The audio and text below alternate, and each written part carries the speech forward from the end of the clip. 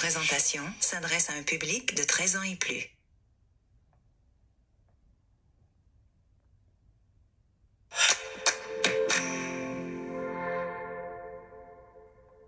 Pourquoi ils nous gardent ici? On dirait, une chambre de poupée. Ah, c'est beau, c'est confortable. Vous êtes bien Madame Carla Ruiz? Ça dépend qui les demande. J'ai laissé